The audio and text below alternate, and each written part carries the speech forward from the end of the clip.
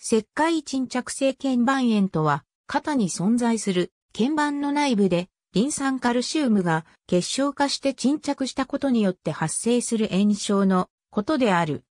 このため、肩に痛みが出るなどの問題が発生する。なお、石灰沈着性腱炎や石灰性腱炎などとも呼ばれる。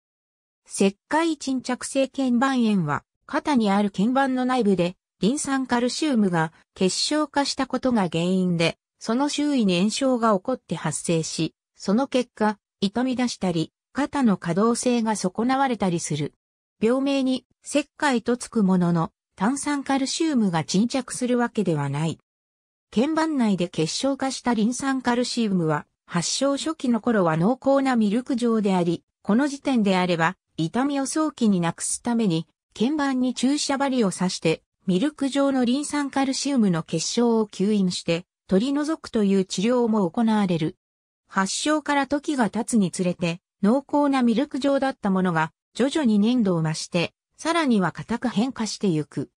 こうして硬く沈着したリン酸カルシウムの結晶が原因で強い痛みが時々再発するようになることもあり、また肩の動きに大きな支障が出る場合もある。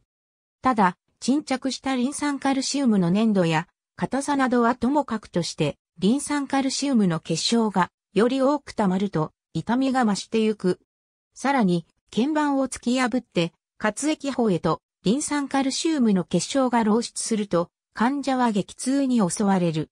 石灰沈着性腱板炎を発症すると多くの患者は肩に痛みが突然現れたという症状を訴える。場合によっては睡眠が妨げられるほどの痛みを訴えることもある。また、肩の可動性が低下し、観測の肩や上腕を動かせないこともある。このほか、上腕骨大結節に圧痛を認めることが知られている。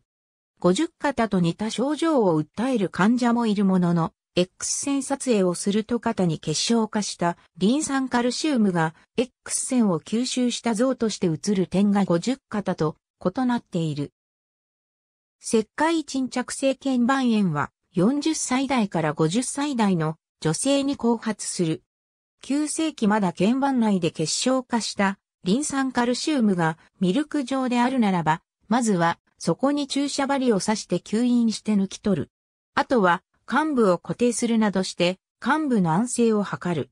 場合によっては炎症を抑えるためにヒステロイド性抗炎症薬の内服、または活液包内にステロイド系抗炎症薬の注射用製剤を注射する。特に強い痛いを訴える場合には、対症療法として活液包内に局所麻酔薬を注射して痛覚を麻痺させる方法を取る。回復期急性期の治療によって痛みが十分に取れたところで、肩への温熱療法を行ったり、同様の効果を狙って患者には入浴を進めたりもする。さらには運動療法を試みる場合もある。その多しめ知人の内服を行うと石灰化が警戒すると言われている。以上のように保存的な治療をすることが多いものの、もしも痛みが強く、肩の可動性に大きな支障が出た状態を保存的治療での回復は難しいとなった場合には、手術の適用となり得る。ありがとうございます。